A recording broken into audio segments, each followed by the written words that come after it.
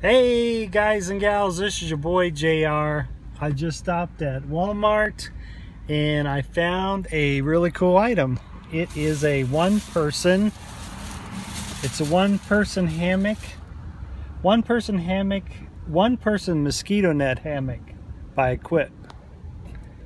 So it um it we had already been pulled out of its stuff sack. So uh I asked him if I could get a little discount, and I also found that little item right there. Uh, I don't know if I'm showing that right.